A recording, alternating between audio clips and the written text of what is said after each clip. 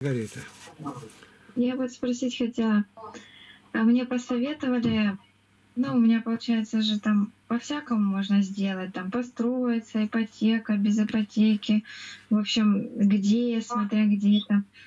Э, И вот мне посоветовали на бумажечках написать, какие варианты возможны, и помолиться Господу, и какой вы вытащишь вариант, вот так и поступить. Вы когда-нибудь так делали? Никогда. Это когда избирали епископа, слепой достает, а так гадать не надо. Надо разумом пользоваться. Условия какие? Рассчитай средства свои. Дальше. Одна ты или муж помогает, то надо все взвесить. А то тебе такой жребий выпадет, что завтра без куска хлеба останешься. В каком времени? Я уже на эту тему отвечал вам. Ближе к родителям. Ближе.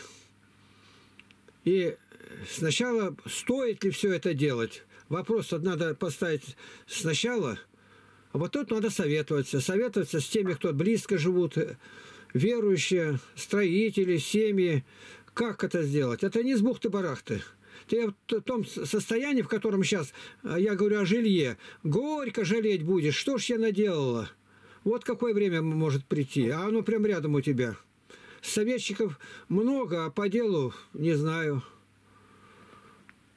Я-то говорю, мне как бы все равно, а это не все равно, потому что ты же мучаешься. Ты сегодня знаешь, где спать, а завтра негде будет. А негде будет, у тебя детей отнимут, как бомжиха. Ты маленько вперед-то загляни, что будет дальше. Ближе к родителям, с мужем поласковее, никогда его не упрекай ни в чем. А вот он такой, ну за что он тебе не нужен? Твоя задача, чтобы он был рядом. Поэтому молись и подчиняйся, ни одного лишнего слова. Никогда не показывай свою хмурость. Муж глава. Вот и весь сказ. Я ничего другого-то не говорю, кроме того, что апостолы сказали. Вот я с которым говорил, советовали, восстановили семейного такая. Все, у них пошло по-другому. Я у них на квартире жил, его Александр звать, а она Марфа. И, кажется, три ребенка было. Четвертый проверили, нельзя рожать. Делать аборт. Она пришла, что делать? Я говорю, молиться. Помолились, слезы утерли, не надо делать. Ну вот у них приехал с Казахстана, они баптисты.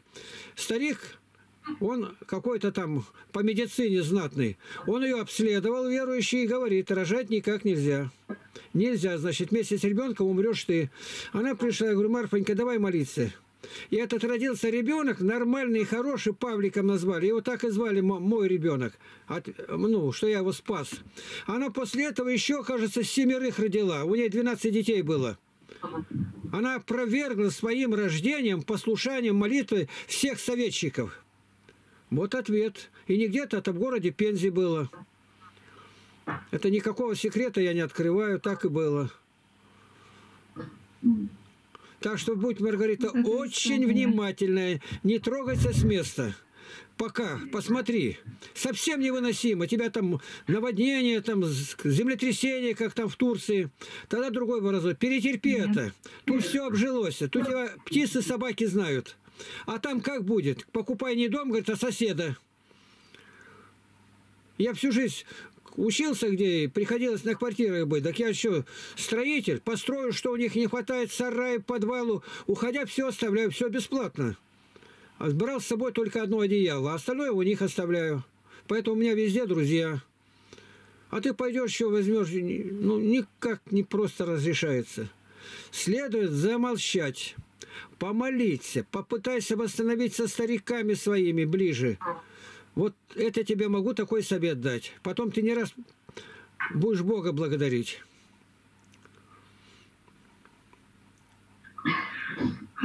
Спаси Христос. это, Маргарита, у меня 83 года за плечами.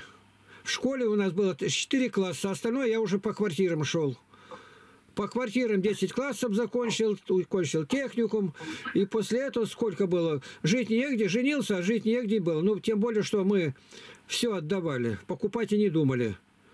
Ну как, то есть платить десятину, и, а я платил всегда 9 десятин, 9. Понимаешь, что такое? Тысячу заработал, 900 отдал на дело Божие. Я очень ревностный был в этом деле. И вот прожил по милости Божией. И получилось, давали квартиры, в бараке дали нам. А в барак там продали. А потом-то деньги были, я печник много зарабатывал. А около церкви купили э, бабушкам где-то.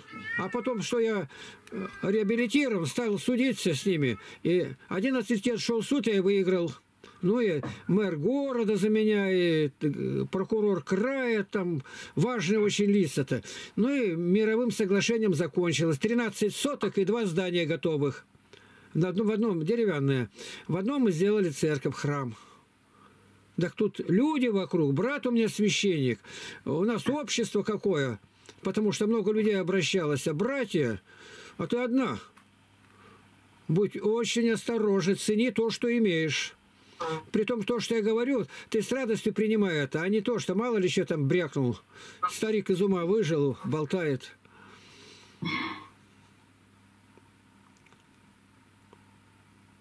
Ты же у меня была. Вот я и боюсь. Ты была, боюсь, ты была у нас. Как я тебя, как я тебя за ребятишек-то гонял? Не забыла? Помню. Ну, чуть-чуть они уже там, ты не видишь, где они уже по деревне шлепают.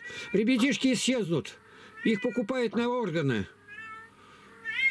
Тысячи детей только в одном городе потерянные. Так сиди, замри, чтобы тебя не видно. Если можно, там старики будут там водить, они любят. Так они неверующие.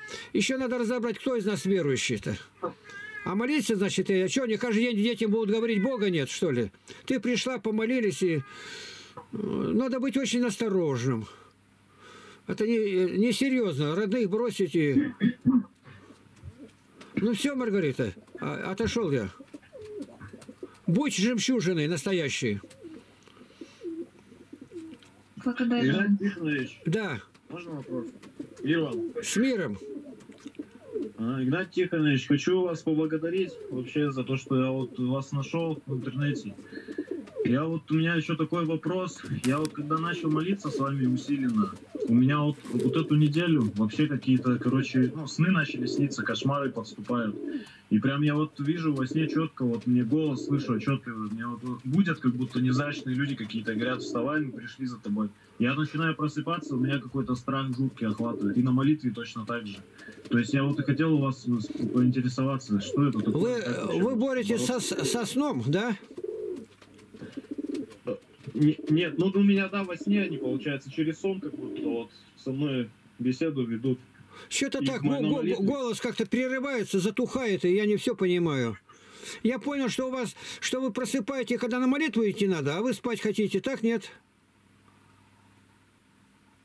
Нет, то есть я вот э, ночь проходит, у меня ночью, допустим, я под утро начинаю, когда просыпаться, у меня вот такой сон. То есть он какой-то поверхностный. А кем работаете? Кем работаете? Я сейчас, я сейчас, я в полиции раньше работал, сейчас не работаю. Макарий Александрийский, его встретил монах один, он несет мешок. Что делаешь? Он в одном конце пустыни нагребет, на другой тащит. А я томлю, аз, томлю томящего мя. Надо до пота лица работать. Вот за мной наблюдали, я, я хвалюсь Господом своим. За мной наблюдали 47 примерно секунд, мне чтобы полностью отключиться.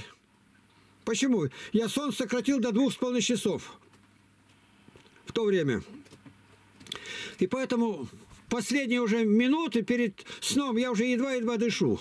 И поэтому сразу а, просыпаться всегда в 4.40. Ну, сейчас я раньше ложусь, встаю где-то в 3 часа. А в 4.40 остальные люди встают. А я в это время разбираю почту в интернете. У меня большие ресурсы. Вы во всем деле смотрите, я живу последний день. С чем я предстану Господом? Вот. Больше работать. Находи. Нет, не в спортзале работать, а кому-то помочь надо. Что-то. Труд и молитва, в общем, да? Да. идет. Антоний как-то просил, Господи, покажи, кто я, и вдруг видит сам себя. Он стоит, сидит там и там какие-то веревки вьет там, а потом встал, поднял руки, вопиет к Богу, опять сел. Он сам себя увидел со стороны. Вот у нас работали, я скажу здесь, которые братья, ну уж я, это, Виктор Николаевич Савченко, это, это, это вообще миссионер, с нами везде ездил и работал. А вот год первый был у нас вот здесь Николай Георгиевич Кузьмин, вот он сидит, такая обширная борода у него на троих. Ну, он знает, как мы встаем, как работа была у него у нас приехал где-то.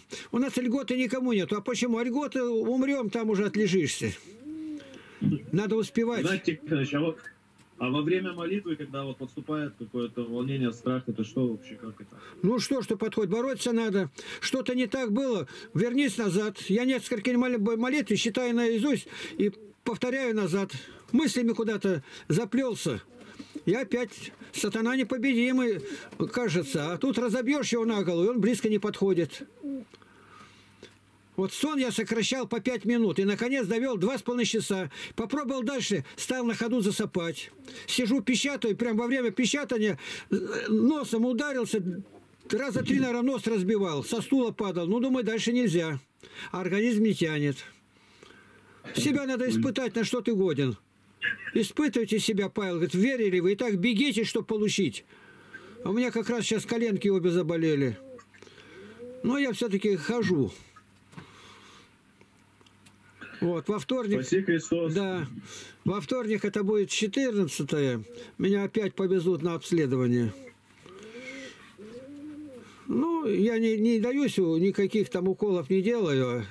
Колени. А сколько они у меня и в холоде были, еще только со мной враги не делали. Так что 83 года, что спрашивают-то? Ну, хожу сам еще.